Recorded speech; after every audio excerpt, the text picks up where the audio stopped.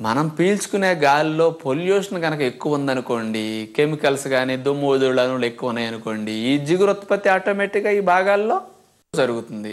ఎక్కువ ఆపాలి కాబట్టి ఎక్కువ జిగురు ఉత్పత్తి అవుతుంది. ఆ జిగురంతా ఇక్కడ కలెక్ట్ అయి ఇట్లా వచ్చేస్తుంది అనమాట అందుకని ఎప్పుడన్నా ఇక్కడ జిగురు వచ్చింది అనుకోండి "ఆ, ఎవడు లేచి చూస్తాడులే పని పాట లేకపోతే అస్తమానం అని మింగేశారనుకోండి చక్కగా మళ్ళీ పొట్టలోకి వెళ్ళిపోతుంది అనమాట అందుకని ఎప్పుడైనా ఇక్కడికి వచ్చింది కాస్త లాగి ఊసేయండి. వాటిని మింగకూడదు. ఇంకా అది మింగాల్సిన బోళ్ళు ఉన్నాయి మనకి. ఇలాంటి వాటిని ఊసేసేయాలి. కొంతమందికి నోరు తెరవటం అలవాటు ఎక్కువ ఉంటుంది.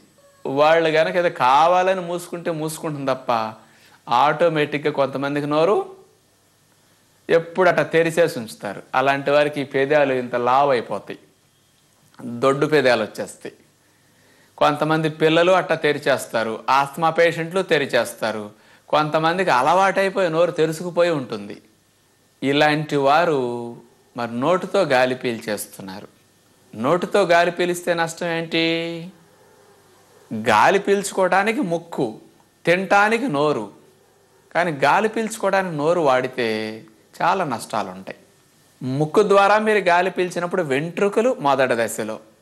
వేడి చేయటం ఎడినాయిడ్స్ రెండవ దశలో రక్షణ. మూడవ దశలో జిగురు పొరలకు అంటుకుపోయి కలెక్ట్ అయిపోయింది చెడంతా. ఈ మూడు దశల్లో ఫిల్టరేషన్ ప్రక్రియ ఎగిరిపోతుంది వీళ్ళకిక. ఇక ఇక్కడి నుంచి ఎంటర్ అయినప్పుడు ఈ దశ అంతా పైన జరుగుతాయి అది ఆగిపోతుంది. అందుకని ఇలాంటి వారికి ఇవన్నీ లోపలికి వెళ్ళిపోతాయి. ఇక నాలుగవ దశలో శుద్ధి కార్యక్రమం జరిగితే కొంత జరగాలి. ఇక లేకపోతే ఊపిరితిత్తులో జరగాలి.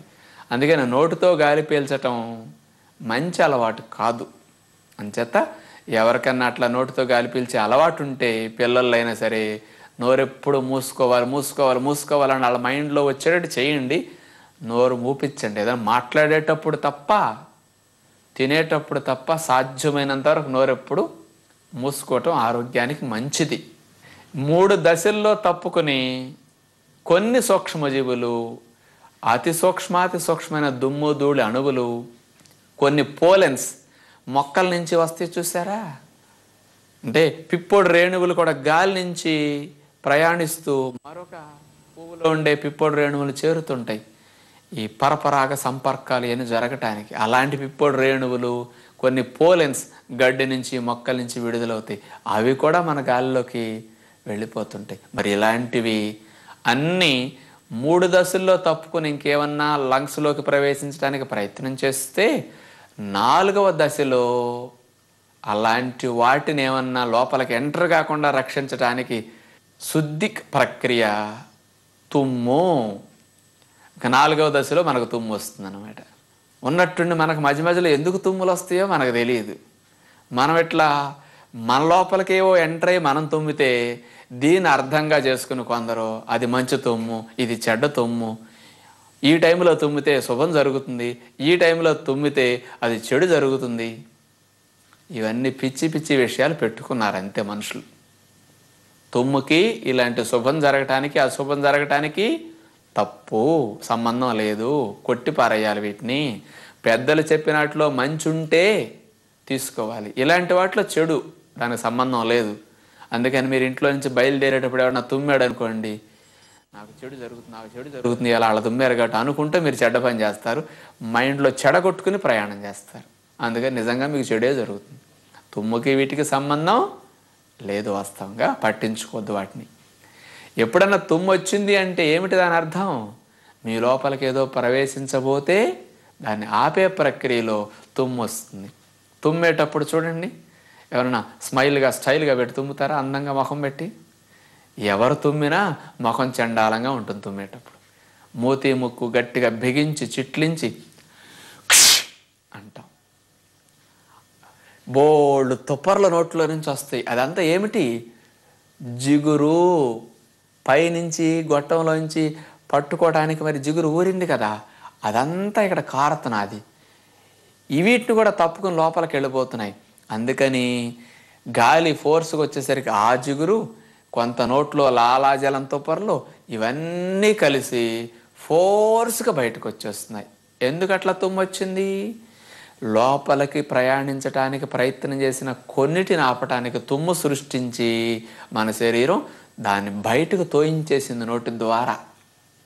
అందుకనే తుమ్మేటప్పుడు అడ్డం పెట్టుకు తుమ్మమంటారు. ఎదుటివారు అట్లా ఉండగా మనం తుమ్మేమనుకోండి మన తుమ్ములో వచ్చినవన్నీ మళ్ళీ వాళ్ళ పీల్చుకుంటారు వాళ్ళ మొఖాన పడతాయి. అందుకని మంచిది కాదని అడ్డం పెట్టుకు తుమ్మమంటారు. ఈ రకంగా లోపలికి వెళ్ళకుండా నాలుగో దశలో రక్షించబడతాయి. వీటిని తప్పుకుని ఏమన్నా లోపల కూడా చేరే ఉంటాయి. అంత సూక్ష్మమైనవి ఉంటాయి. కొందరికి అనారోగ్య లక్షణాల కారణంగా తుమ్ము కూడా రాదిక. ఆ ప్రక్రియ కూడా దెబ్బతినిపోతుంది కొన్ని సందర్భాల్లో. చివరికి లంగ్స్లోకి ఎంటర్ అయిపోతాయి. అలాంటి వాటిని ఇక లంగ్స్ ఫైనల్గా శుద్ధి చేయడానికి లంగ్స్ ఏం చేస్తాయో తెలుసా? ప్రతి శ్వాసనాళం లోపల గాలి తిత్తుల లోపల ఊపిరితిత్తుల్లో జిగురు స్రవిస్తుందన్నమాట. బాగా ఫుల్గా. ఆ జిగురు ఇక గాలి ప్రయాణించే ప్రతి భాగంలోనూ ఉంటుంది ఇక. అందుకని తప్పుకుని వెళ్ళటానికి ఉండదు. అక్కడ అంటుకుపోతాయి మొత్తం. ఆ ఊపిరితిత్తుల్లో జిగురుకు అంటుకుపోయిన ఈ దుమ్ము ధూళి అణువులు హాని కలిగించే సూక్ష్మజీవులు ఏమైనా ఉంటే ఆ జిగురులో కూడా ఇమ్యూనో గ్లోబ్లిన్ అనేది విడుదలవుతూ ఉంటుంది. అవి సంహరించేస్తూ ఉంటాయి. ఆ జిగురులో పట్టుకుని సూక్ష్మజీవుల్ని అంటుకుపోతాయి. అందుకని ఇట్లా ఊపిరితిత్తుల్లో జిగురు కంటుకుపోయిన ఫైనల్గా శుద్ధి కార్యక్రమంలో ఈ జిగురంతటిని సీలియా అనే వెంట్రుకలు ఉంటాయి అన్నాం కదా అవేం చేస్తాయి? ఊడ్చేసి ఆ జిగురంతటిని పైకి గంటుతాయి. ఇందాక ఇక్కడ ఉండే జిగురులో ఉండే బ్రష్లు కిందకు తోస్తాయి. ఊపిరితిత్తుల్లో ఉండే కన్నం పైన ఉంది కదా మరి లోపల నుంచి ఇట్లా అంటా ఉంటాయి ఎప్పుడు వాటి పని పాపం ఇంతే. వన్ వే డైరెక్షన్ అట్లా తోస్తూ ఉంటాయి. ఆ జిగురు మెల్లగా మళ్ళీ గాలి గొట్టాల్లోంచి నడిచి నడిచి వచ్చి ఊపిరితిత్తుల్లో నుంచి కంఠం దగ్గరికి చేరుతుంది. దాన్ని మనం కాండ్రించి ఊసేసేయాలి. ఎవరికన్నా ఇట్లా ఊసే కఫాలు కాస్త వస్తున్నాయంటే మీరు పీల్చే దాంట్లో పొల్యూషన్ ఎక్కువ ఉంది అని అర్థం. అందుకని కాస్త ఎక్కువ ఇటు నుంచి వస్తుందన్నమాట. ఇప్పుడు ఊపిరితిత్తుల్లో ఈ సీలియా ఎలా ఉంటుంది జిగురు పొరలు ఎలా ఉంటాయి అనేది ఒకసారి చూద్దాం. ఇవన్నీ జిగురును ఉత్పత్తి చేసే కణాలు ఊపిరితిత్తుల్లో. ఈ కణాలన్నీ ఆ గోబ్లెట్ సెల్స్ జిగురుని స్రవిస్తాయి. ఇదంతా జిగురు. ఈ జిగురు పొర పైన ఇగో వెంట్రుకలు మైక్రోస్కోప్లో మాత్రమే కనపడే బ్రషుల్ లాంటి సీలియా అనమాట ఇట్లా పైన ఉంటుంది ఇదిగో ఈ కణాలంతా జిగురుని స్రవిస్తూ ఉంటాయి. ఇక్కడ చూడండి ఈ జిగురు కణాలు ఉత్పత్తి చేసిన జిగురు ఈ సీలియా అనే వెంట్రుకల పైన ఎంతంత పేరుకునుందో చూడండి ఇక్కడ తెల్లగా. దీనికి అంటుకుపోతాయి అనమాట ఈ దుమ్ము ధూళి అణువులని ఇట్లా పెట్టేసి బ్రషులు నెట్టగా ఇది మళ్ళీ ఇట్లా పైకి జరిగి గొంతులోకి వచ్చేస్తుంది అనమాట ఈ జిగురు గ్రంథులు ఉత్పత్తి చేసిన జిగురు వల్లే మన చెడంతా లోపల పేరుకోకుండా ఊపిరితిత్తులు పరిశుభ్రంగా ఉండటానికి అంత ఉపయోగం జరుగుతుందన్నమాట. సిగరెట్లు త్రాగే వారికి ఈ జిగురును ఉత్పత్తి చేసే కణాలు దెబ్బతినిపోతాయి. అందుకని ఇక జిగురు సరిగా ఉత్పత్తి కాదు వీళ్ళకి. అందుకని ఎప్పుడు పొడి దగ్గు దగ్గుతూ ఉంటారు. డ్రైగా ఎందుకు ఉంటుందంటే మరి జిగురును ఉత్పత్తి చేసే కణాలు సిగరెట్ వల్ల దెబ్బతింటాయి అన్నమాట. అందుకని ఈ ఈ కణజాలానికి ఈ కణజాలానికి చూడండి ఎంత తేడా ఉంటుందో.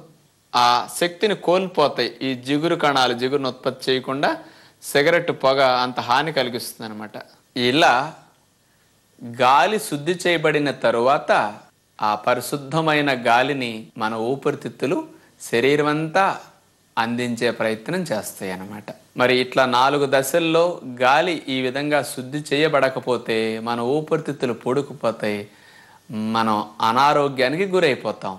మరి ఎన్ని రకాలుగా శుద్ధి ప్రక్రియలు చేసి మన ప్రాణవాయువుని శరీరం గ్రహిస్తున్నదో చూడండి. ఇవిట్లా ఫిల్టర్ చేయాలని మీరేమైనా కోరుకున్నారా? మన కోరుకుంటే ఎన్ని ఏర్పాట్లు వచ్చినాయో చెప్పండి. ఇదంతా చక్కటి ఆటోమేటిక్ ప్రక్రియ.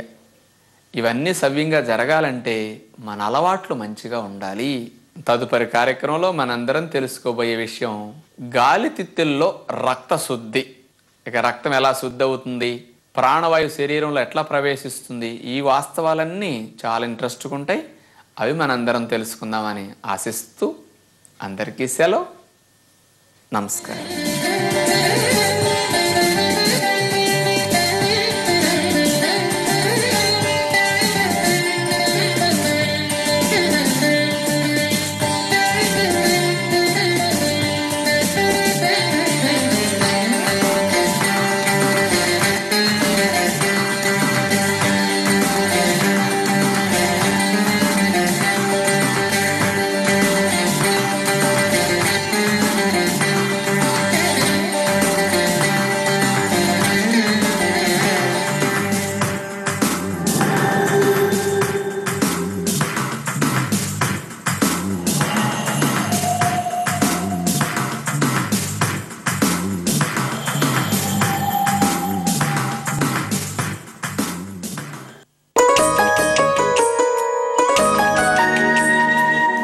ಕಷ್ಟಮೋ